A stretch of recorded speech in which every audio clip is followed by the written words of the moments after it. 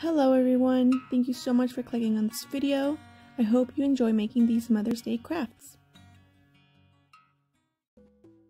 For the first craft, we'll be needing craft sticks, washi tape, and glue. I'm going to be making a picture frame.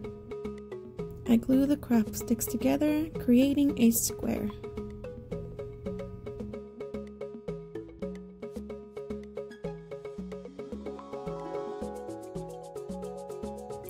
Now I get my washi tape and I just decorate the craft sticks.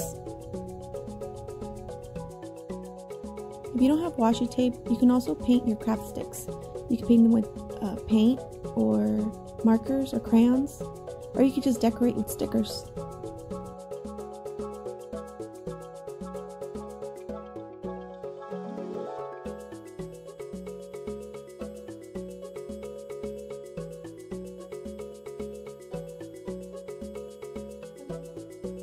Make sure the glue on your craft sticks is completely dry before you apply the washi tape or your paint or your stickers.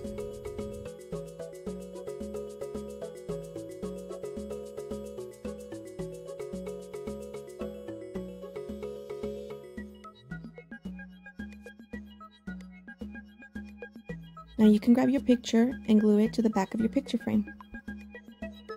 I just made this to show you guys how to glue down your picture. It's just white paper with stickers that I had.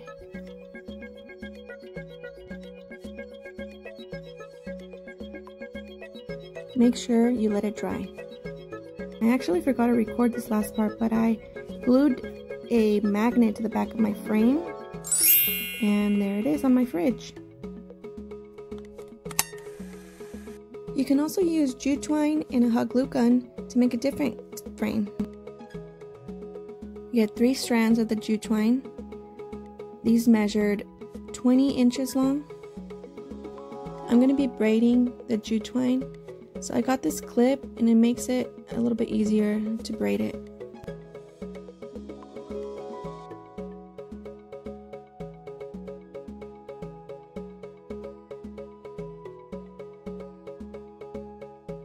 Try not to make it too tight so you can be able to see the design. I made the second picture frame option thinking about the older kids, and I'm also using more of neutral colors. Now I'm going to use my hot glue gun to glue down the braid that I made.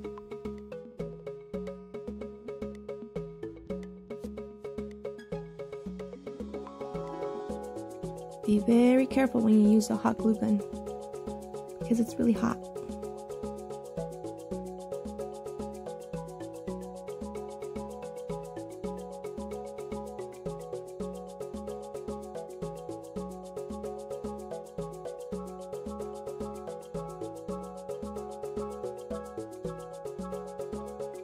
I wrapped it all around my picture frame and I just trimmed off the extra twine. Now add your picture to the back of the frame and I added a little piece of twine to hang it to the wall. For the second craft, I will be using cardboard, construction paper, stickers, glue, yarn, and a hole punch. First, I cut off a piece of cardboard. This will be a bookmark, so I'm making a rectangle.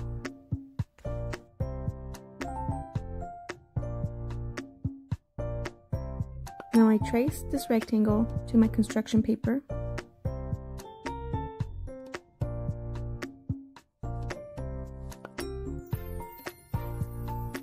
I cut it out and now I'm going to glue it to the back of my cardboard. I'm going to let that dry and I'm going to start on my tassel. For my tassel, I will be needing a long piece of yarn and a shorter yarn. The long yarn, I wrap it around my fingers, not too tight. Now I'll get the shorter piece of yarn and I pull it through the yarn that's wrapped around my fingers. Now once you have it in, you want to get it to the top. Pull it, not all the way, and just make a knot. I struggled a bit, so you might need an extra hand.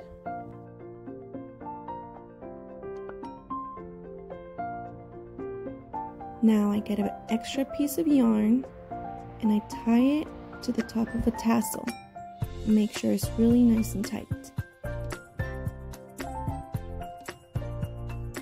Now this little loop, we cut it.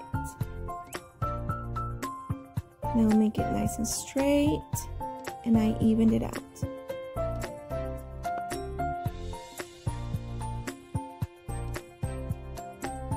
Now I just make it nice and pretty and there's my tassel. Now I punch a hole to the top of the bookmark. Now I get my tassel and I put the string through the hole. I see what length I want it and then I just make a knot.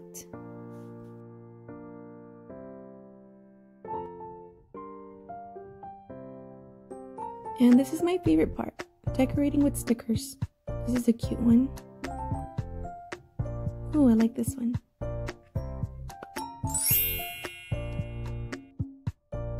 There's my bookmark. Another option is using burlap ribbon, hot glue gun, jute twine, and construction paper. I wrapped the construction paper around the cardboard and I glued it down. This time I used the glue stick because I thought the liquid glue made it kind of bumpy. Now I got that burlap ribbon and I wrapped it around the bookmark. Be very careful using the hot glue gun.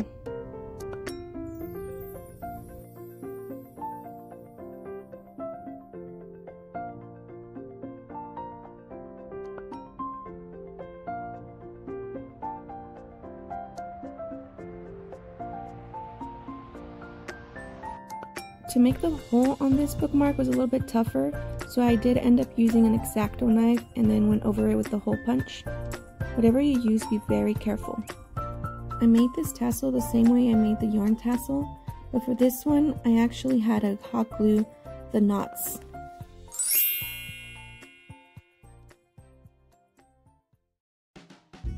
For the third craft, we'll need pipe cleaners, keychain rings, and beads. This is a neat hack I saw using a bobby pin to help you get your bead through your string, or in my case, the pipe cleaner. Now I just bend these two sides like this to create the arms, and then I twist like that. This will be my son.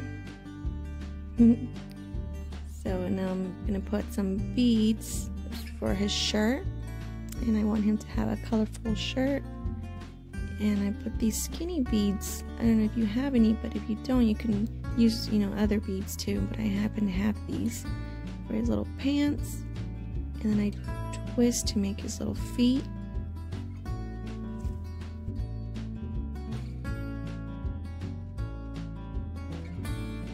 I keep twisting.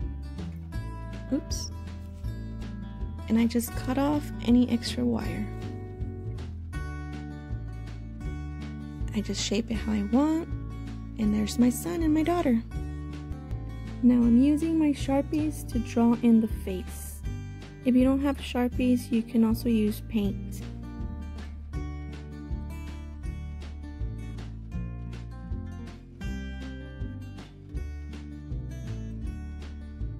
Then I looped in the keychain rings. You can also use paper clips. Look how cute they look.